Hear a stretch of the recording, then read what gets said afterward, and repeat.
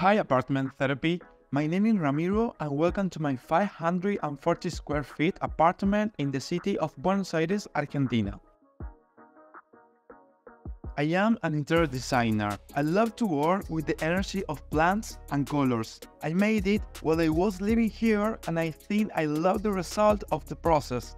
I started it from zero. It was a typical white apartment. I came with some furniture but I recycled many things. I even found some stuff on the street. This apartment is my most personal creation. I put together some furniture and I can say I worked a lot. First, I started to create the zones. The big space in the middle changed into the living room and the dining room. The key point in zoning was the guard walls. The two dominant colors are gray and turquoise. You can see them when you enter the place and they guide you through the living room, the dining room, up to the balcony. Also, I wasn't sure if I was going to like that much color. How to combine them? I studied about colors, the aura that each color brings, also the experience you achieve over the years. Welcome to my living room. I wanted a big sofa like this, that could also serve as a second bed. I bought this mirror and I love its wooden frame. I love to restore and recycle objects. For example, we gave a second chance to the old rack in the living room. I added color with chalk painting and I love it. I had a bookshelf with this boring brown color and I decided to paint it with light gray. When I think about evolution in design, I mean to give a second chance to things where we're going to throw away and not buying stuff we don't need. I can do carpentry, so I designed the round table. I used a lot of chalk painting in this apartment, even in the walls or the flower pots. I put an arm to the TV, so that you can watch it even from the kitchen. In the dining and living room, I feel that the zoning and functionality worked perfect. I already had the big glass table and I chose it for the dining room, as well as the big chart on the wall. I made it with postcards, flyers, even tickets from concert and stuff from some trips. I love to travel and get inspiration from different sites. The people, the colors, textures, even some smells, they provide me with a lot of ideas for design. The two puffs are a great storage solution. They keep things inside. This is to the balcony. Here, I feel I am in the jungle. I am on holiday. I feel I have room to enjoy myself. I recycled an old city tower to hold some pots. I painted the big plant pots. Of course, the hammock is the star of the balcony. I also added elements of nature like bamboo dividers to separate the apartment from the neighbors. I started to place plants as soon as I came here. I bought some of them. I also got plant segments and made them grow. In my mind, I had the idea of creating a forest out of this place using biophilic design.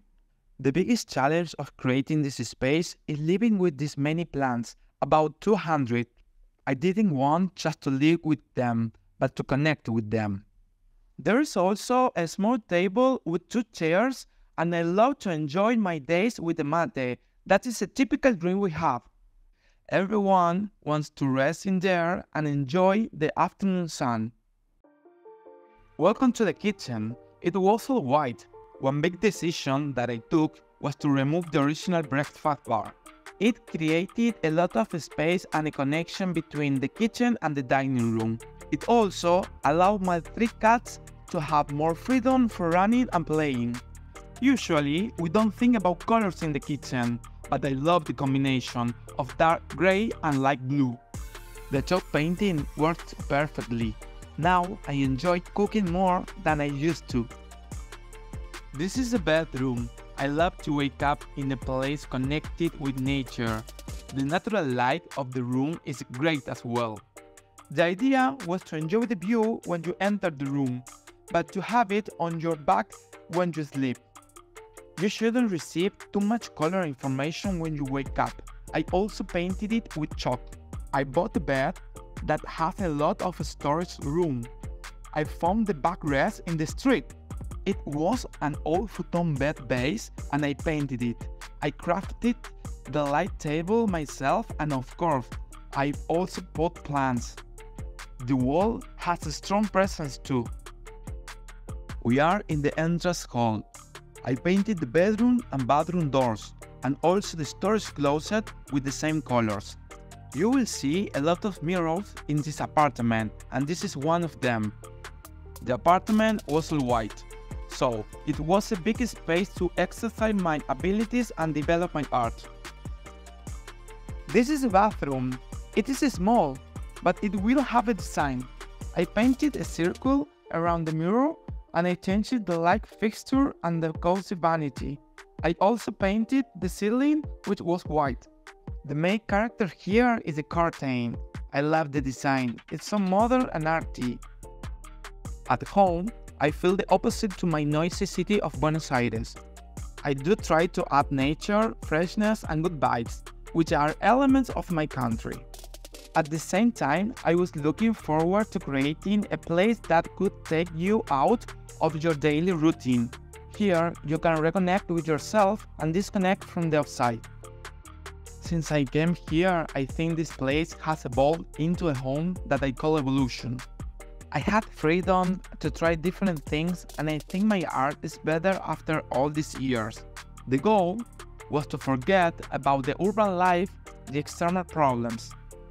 I designed a beautiful home with the vibes and energy I was looking for. I know where I can get to, thanks to my art. I experienced my mission in this planet to have the green light at home, to make home shine, to empower people. Now I know I can craft a place full of life.